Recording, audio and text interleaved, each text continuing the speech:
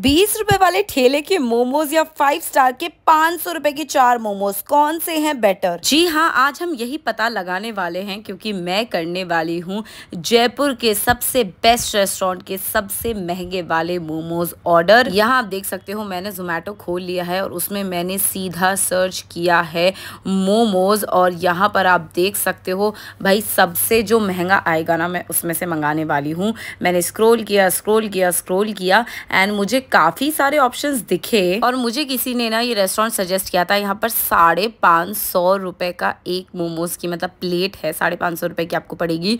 और मैंने ये देखते ही इंस्टेंटली ऑर्डर कर लिया और मुझे पता ही बहुत फैंसी आने वाली है। यहाँ पर आप देख सकते हो पेमेंट हो चुका है। अब बस मैं वेट कर रही हूँ, जल्दी से मेरा ऑर्डर आ जाए। मीन मैं आपको बताती हूँ यहाँ पर हुआ क्या। भाई, अगर आपको सस्ते से सस्ते मोमोज खाने हैं ना तो फिर एक ही ऑप्शन है। आपको वो लाने पड़ेंगे ठेले पे से। तो मैंने अपने एक फ्रेंड को कॉल किया और और ठेले वाले बीस रुपए के मोमोज मंगवाए। उसको आने में टाइम लग रहा था, लेकिन तब तक आ चुके हैं हमारे ये बड़े ही एक्सपेंसिव मोमोज। यहाँ पर आई डोंट नो ये बिल इतना क्यों है, हमने तो जितना पे किया, आपने देख लिया, साढ़े पाँच सौ रुपये के मोमोज हैं। सबसे पहले यहाँ पर आइए तीन तरीके की चटनियाँ दोस्तों। आ, ये पता नहीं इसमें क्या ऑयल वॉयल डला हुआ है। और फिर है ये बहुत ही आ, अलग दिखने वाले डम्पलिंग्स और भाई फाइव स्टार से आए हैं तो यहाँ पर काफ़ी अलग अलग चीज़ें आई जैसे थैंक यू कार्ड आया है पोलो तक आई है कि अगर आप थोड़ा मोमोज खा के लगता है कि यार बहुत लहसुन खा लिया तो फिर आप खा सकते हैं इसके साथ में आ, पोलो भी आपका मूड बड़ा फ्रेश हो जाएगा।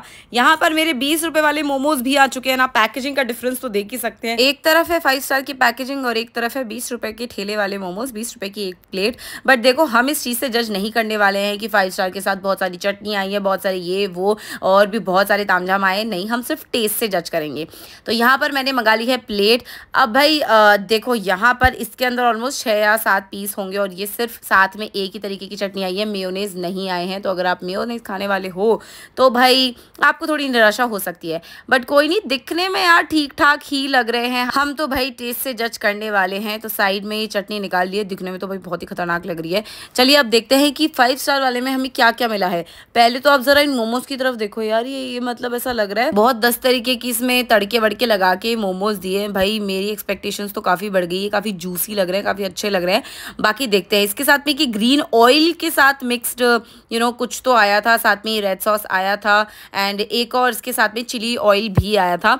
ऑनेस्टली मैं ज़्यादा मोमोज नहीं खाती हूँ तो मुझे इन सबका नाम नहीं पता। चलिए बीस रुपये वाले मोमोज अंदर से कैसे दिखते हैं? भाई बिल्कुल नॉर्मल है कोई प्रॉब्लम नहीं है।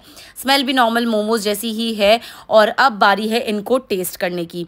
यहाँ पर आप बहुत शौक होने वाले हो जो मैं बताऊँगी उससे क्योंकि ये बीस रुपये वाले मोमोज तो ऑफकोर्स आपको लग ही रहा होगा कि यार ये तो बहुत ही ओके होंगे एंड ये वैसे ही थे टेस्ट में। आई I मीन mean, मुझे ऑनेस्टली नहीं पसंद आए।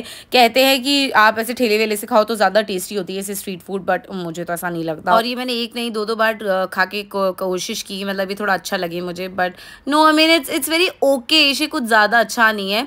इसमें बस थोड़ी सी मिर्ची है। फिर मैंने सोचा कि क्यों ना मेरी बहन को भी टेस्ट कराया जाए, थोड़ा बेटर जजमेंट हो पाएगा। तो मेरी बहन भी यहाँ पर आकर इन्हें टेस्ट कर रही है। ये बहुत ज़्यादा मोमोज खाती है, इसे मोमोज पसंद है। तो जो ये बोलेगी, मैं तो वही फाइनल वर्डिक्ट मानने वाली हूँ। और इसको भी आप देख सकते हो, इसने मुँह बना दिया, इसको बिल्कुल भी पसंद नहीं आए थे। फिर मैंने जिस दोस्त से ही मंगवाए थे, उसको भी टेस्ट करवाया कि प्लीज़ खा के बता। और हमारा मुँह बनाने के बाद ये भी कुछ खास इंटरेस्टेड नहीं था। और इसने भी बोला कि, यार, बिल्कुल भी अच्छा टेस्ट नहीं है, बिल्कुल भी मज़ा नहीं आया। पर कोई बात नहीं दोस्तों, अभी हमारे पास हमारे फाइव स्टार वाले मोमोज भी रेडी हैं। तो चलिए इन्हें टेस्ट करते हैं। मैंने तीनों ही चीज़ में इसको डिप किया। तो बहुत ज़्यादा ऑयली ऑयली हो गया था। मतलब आई मीन मेरे को ज़्यादा ऑयल पसंद नहीं है।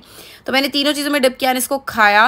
दोस्तों कैन यू ऑल इमेजिन पाँच सौ रुपये मेरे बिल्कुल वेस्ट हुए। बिल्कुल भी अच्छा नहीं था यार ये मतलब ना ठेले वाले और ना ही ये फाइव स्टार वाले। मुझे दोनों ही मोमोज पसंद नहीं आए। अच्छा अब इसके अंदर मेरी बाइसनेस हो सकती है कि यार मैं ज़्यादा मोमोज नहीं खाती तो इसलिए मैंने ना इन लोगों को, दूसरों को भी टेस्ट करने को बोला कि यार चलो एक बार कोशिश करते हैं, क्या पता इन लोगों को पसंद आया मुझे बिल्कुल भी पसंद नहीं आया। फिर मेरी बहन ने बोला कि चल ठीक है, मैं खा के देखती हूँ। तो उसने पहले इसको स्मेल किया, उसके बाद में इसको बड़ा तोड़ा वोड़ा भाई ये तो बहुत ही तरीके से खाती है। इसने बस अपनी फेवरेट रेड सॉस लगाई और इसने सीधा खाया। एंड गाइज़ इसको भी ये बिल्कुल भी पसंद नहीं आया। She like what the hell is this तो देखो फाइनल हो ही चुका है वर्डिक नहीं पसंद आया भाई हमें अगर तो। दस में से रेटिंग दी जाए तो ठेले वाले को मिलेंगे पाँच और जो रेस्टोरेंट वाले मोमोज हैं इनको सिर्फ़ मिलेंगे चार और सबने ऐसा ही दिया। भाई मेरी बहन ने तो रेस्टोरेंट वालों को तीन ही दिया और उसको दिया पाँच और हमारे हितेश भैया ने भी ये सेम ही रेटिंग दी। तो दोस्तों अगर आपको मोमोज खाने तो किसी नॉर्मल शॉप से खा लो ना ज़्यादा बुरी में जाओ ना बहुत ही ज़्यादा हाई जाओ।